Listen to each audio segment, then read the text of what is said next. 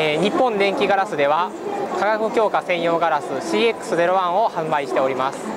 CX01 は、えー、携帯、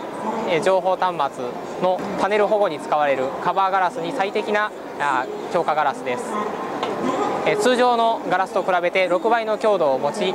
携帯型情報端末のパネルを保護することができます、えー、日本電気ガラスでは 2m×2.5m の基板を CTEC で展示させていただいております、えー、CX01 をよろしくお願いいたします。